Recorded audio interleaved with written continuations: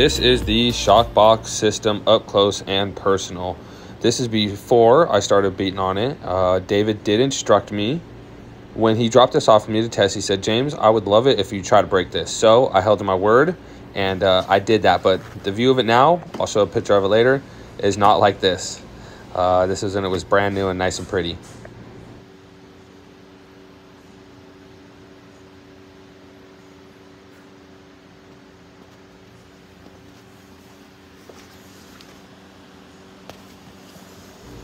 So this cool little device is called a trick stick. Uh, with that latch, you can go ahead and unlock it. And when you unlock it, you can move it to various positions.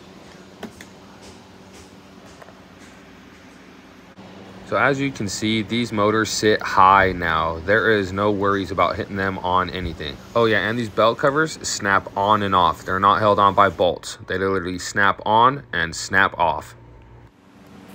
All right, so I went ahead and put the spec sheet up on the screen because to be honest, there are just a lot of big words and letters and numbers all together and I'm gonna, I've already tried, I jumble all of them. So you guys can take a couple seconds while we're doing the underbelly checkout of these trucks and uh, just go ahead and read over it. Um, but the but the main thing to take from all these big letters and numbers is that this stuff is made out of really strong metal. Take my word from it. I tried to break it. I could not break these things. And just in case anybody's wondering, I am running 66T gear wheel pulleys with 420 belts. So you will have to run a little bit longer belts with this setup. So are you guys asking yourselves, well, what what is this? How is this working? It's a great question. The answer to that question is this. It works on a torsion spring. A torsion spring is a type of mechanical spring that stores energy when twisted or torqued. It exerts a force in the opposite direction of the twist, attempting to return to its original position. All right, so while we're on the back end, let's go ahead and go over the weight restriction. So, so far it's been tested for riders at 200 pounds with no issues. Also, something to note, the stiffness of the suspension is a relative factor here regarding performance, but not mechanical or functional capacity. And David is also working on a new pivot axle for the Shocbox with greater preload capacity for heavier riders, lighter and tighter handle pivot component for the trick stick, and a new grip cap component for the custom grip. This should give it a little more integrity. Oh my god, Becky, look at her butt.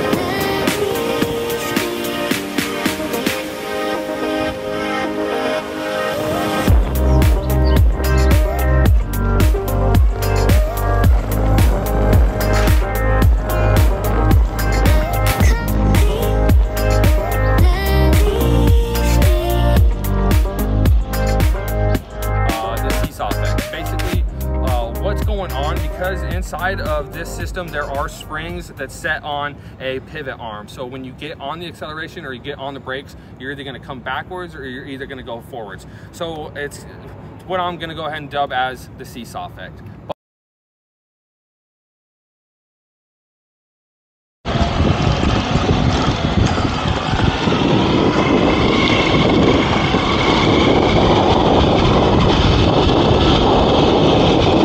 All right, let's go up here. We'll make the left and we'll and around. Right, let's do those wheelies.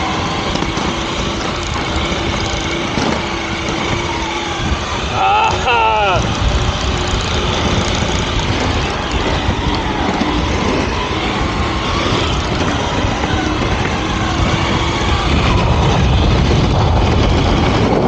Uh, we're gonna jump these speed bumps real quick and see how this thing kind of. Woo! As you see there, it's not repaired, so it came out a little bit.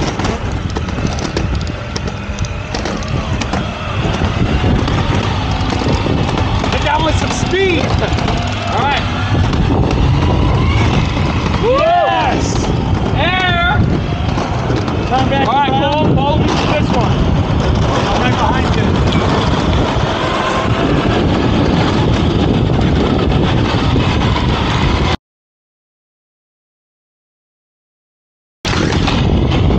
Go to the left, go to the left. There you go.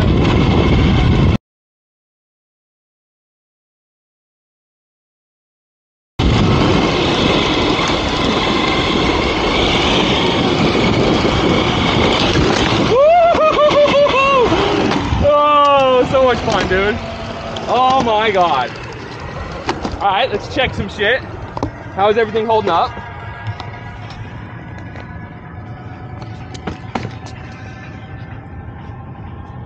I mean, that's kind of surprising, bro. really? Yeah, let's go try to break it. All right, let's do it. Hey. I call this the dance.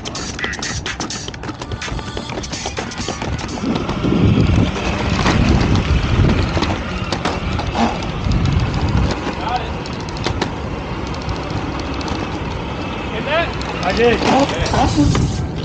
That was very steep thing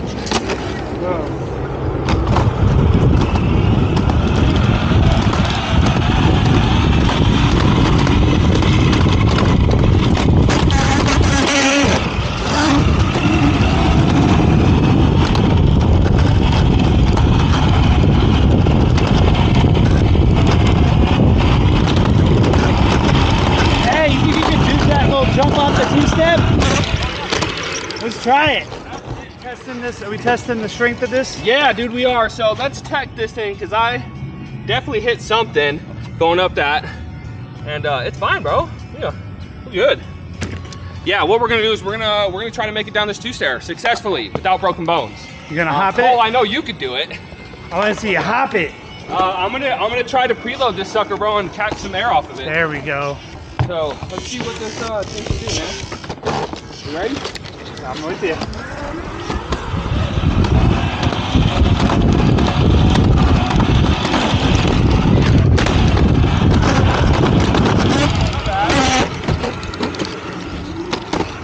All right. Can we handle the singles? Yep.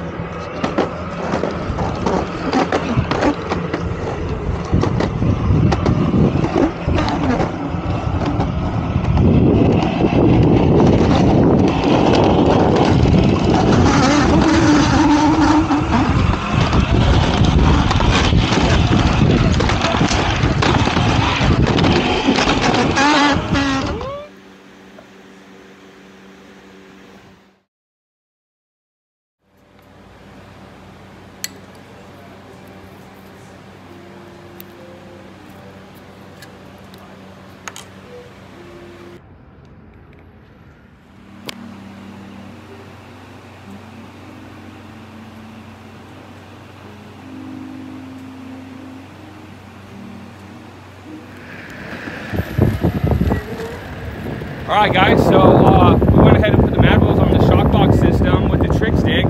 Uh, this is literally my first time on the wheels on this system, so this is gonna be exciting. Kind of excited. Uh, I got Jacob with me. I'm gonna go ahead and.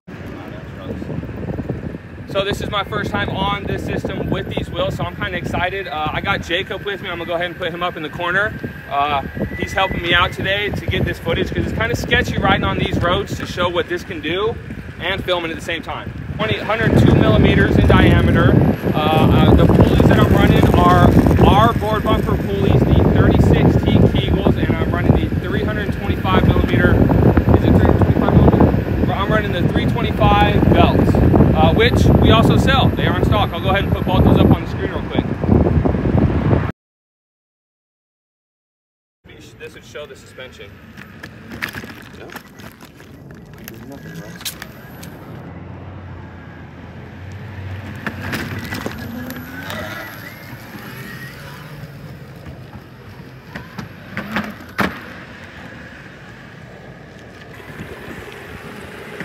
Got, does it have the 12.4 in it? I'm just brr, brr, brr, up. So I like it.